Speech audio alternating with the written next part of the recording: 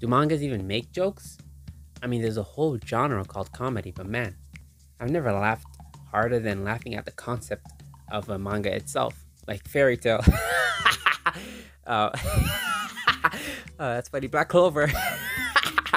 oh, that's funny. But you know, I've never stepped into the genre of comedy. So if you have any comedy mangas that you know or animes, let me know in the comment. The most well-known one is Gintama. That shit is long as heck, which is you know kind of hard to get into.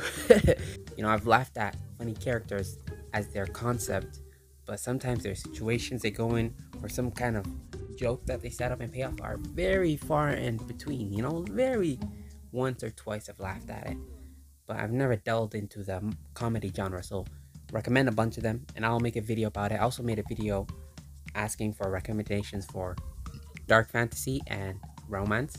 So I'm gonna make videos on those recommendations very soon. Actually, not very soon, but don't hold your goddamn breath. All right, so that's it. I'm gonna go watch uh, season season finale series season finale of first season of Invincible. All right.